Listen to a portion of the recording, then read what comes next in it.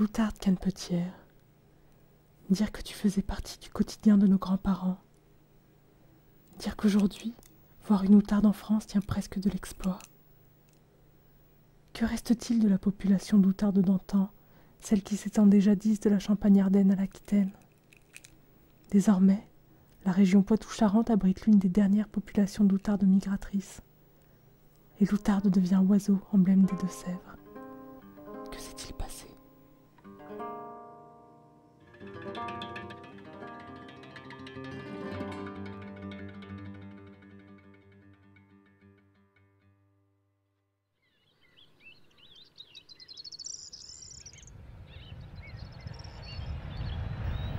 Il était une fois la France et ses plaines, avec ses paysages agricoles diversifiés en mosaïque, son système d'exploitation en polyculture élevage, ses cultures annuelles variées, ses jachères, ses lisières, ses prairies, ses pâtures, ses luzernières et ses chemins herbeux.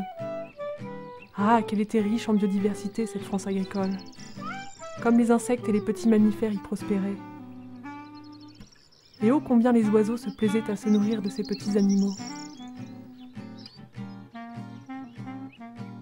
Les oiseaux nichaient au sol, dans le confort des zones herbeuses. Une prairie, un champ de luzerne, une jachère faisaient la réussite de générations d'oiseaux. En ce temps-là,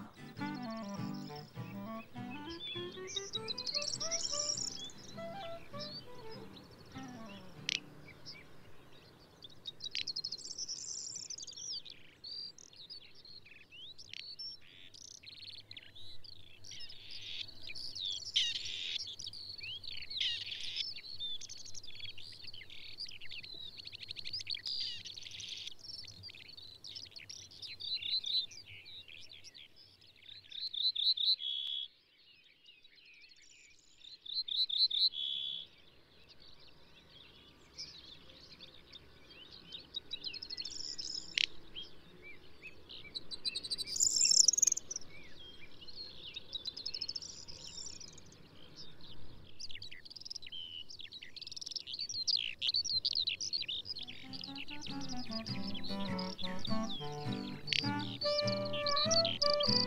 you.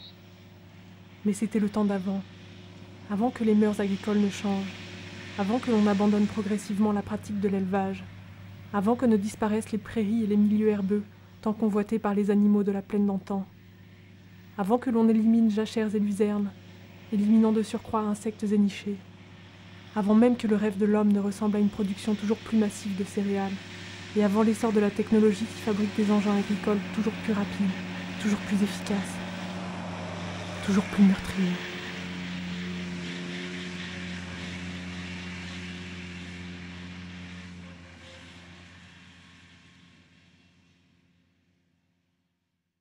avant les différents partenaires qui se succèdent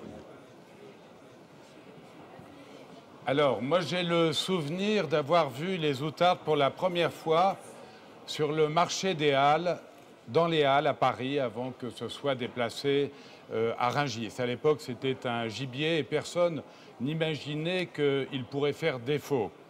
Aujourd'hui, l'évidence euh, s'impose. L'outarde canepetière a disparu de 95% dans une région extrêmement sensible comme celle-ci, la région Poitou-Charentes. Euh, C'est Oui, une oui, région qui c'est bien de toi dont on parle. 300 mâles Où étais-tu? On ne te voit plus. Mais que t'arrive-t-il? La monoculture ne te plaît pas?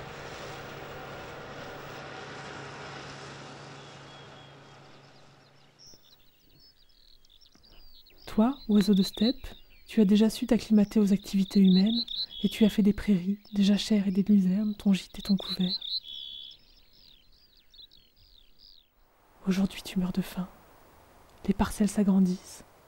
On utilise des insecticides, des herbicides, des pesticides. On extermine les populations d'insectes en labourant toujours plus profondément. Comment nourrir tes poussins quand les populations d'insectes s'amoindrissent?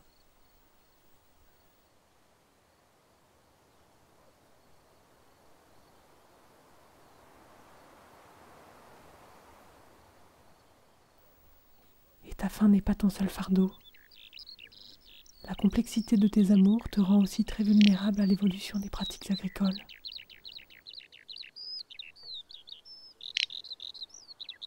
Mâles et femelles, vous avez des exigences écologiques presque opposées. Alors, il vous faut savoir vivre dans des milieux différents tout en restant à proximité les uns des autres. Il faut bien que se produise la rencontre.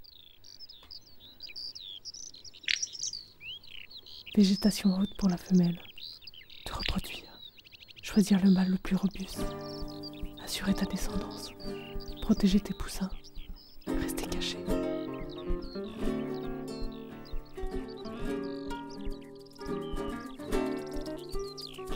Végétation rase pour le mâle. Être repéré par les femelles. Parader. Chanter. Être le plus fort. Te mesurer aux autres qui ne sont jamais bien loin de toi. C'est ton ultime raison d'être. Et jamais une immense parcelle de maïs, de colza ou de tournesol ne permettra une telle alchimie.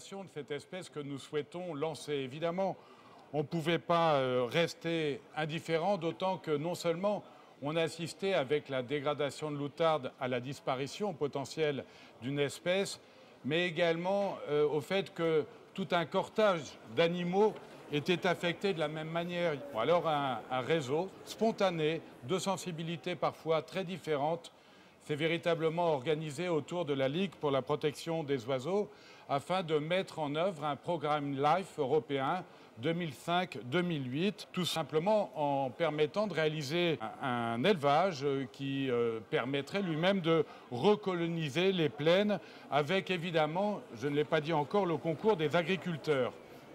L'opération a été lancée en juin 2005, en juin dernier, avec une quarantaine d'œufs qui ont été prélevés sur des nids euh, découverts lors des activités agricoles, mais également avec nos homologues espagnols qui sont impliqués dans cette démarche. Pour ceux qui ne savent pas, les. En tout cas, ce qu'on peut dire, c'est que tu mobilises du monde. Regarde tous ces gens qui sont là pour parler de toi, de ton sort, de tes terres.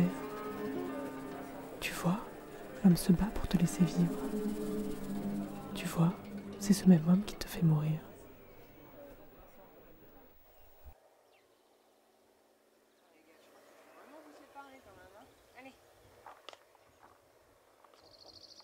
Dans le programme LIFE, on a euh, plusieurs volets. Donc on a un volet élevage de poussins en captivité, on a un volet reproduction en captivité et le troisième volet c'est mesures agro-environnementales. Donc on, doit euh, aider à la mise en place des mesures agro-environnementales qui sont euh, payées par, par l'Europe et la France. Elle, tu la connais, c'est Carole. C'est elle qui s'occupe de toi l'élevage. C'est elle qui te fait naître. C'est elle qui te nourrit. C'est elle qui te surveille. Parce qu'une outarde en captivité, c'est fragile. Et un peu gauche. C'est elle aussi qui va chercher les œufs dans les champs. Elle n'est pas seule, bien sûr. Entre l'équipe de terrain et l'élevage, 14 personnes se mobilisent. Rien que pour toi. Les œufs sont récupérés après les fauches en règle générale. Et sinon, on a une autorisation de prélèvement sur la moitié des pontes. Donc ça veut dire qu'on protège le nid dans la parcelle, c'était le deal. Plutôt que d'attendre bêtement que tout soit détruit, j'ai dit moi euh, je sais chercher les nids, on fait une équipe, et on protège le nid dans la parcelle, la femelle élève deux poussins et on élève les deux qu'elle n'élèvera pas de toute façon. Et donc ça, normalement, si on trouve les nids avant, on prend deux œufs.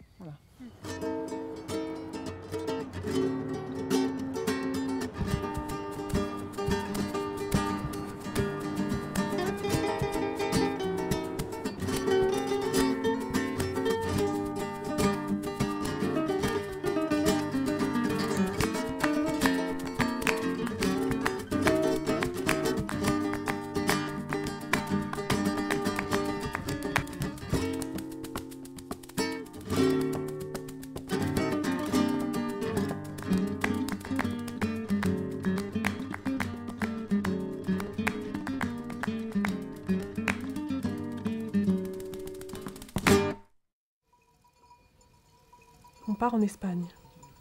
On retrouve les sites où tu passes l'hiver. On y retrouve tes sœurs, celles qui ont choisi de ne pas migrer, de ne pas venir se reproduire en France. Là-bas, il te reste de la place pour vivre. Là-bas, les hommes n'ont pas encore la folie des grandeurs. Mais jusqu'à quand?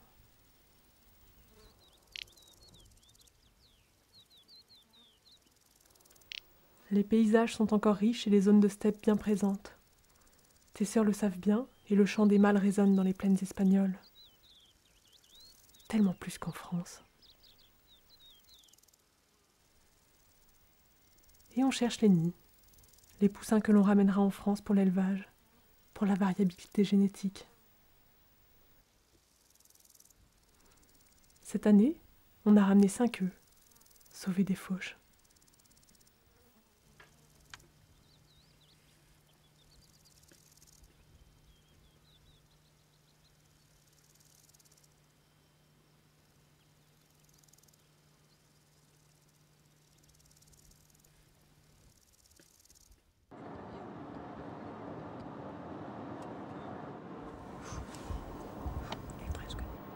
Comme rien n'est facile avec toi, tu as décidé de naître dans la voiture, sur le chemin du retour.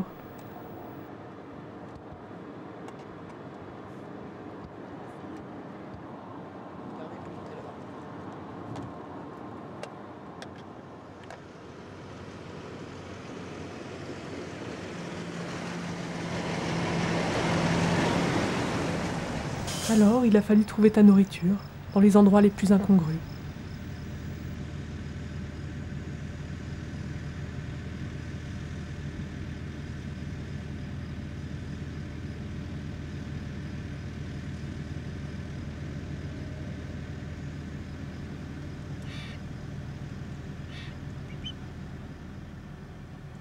Allez les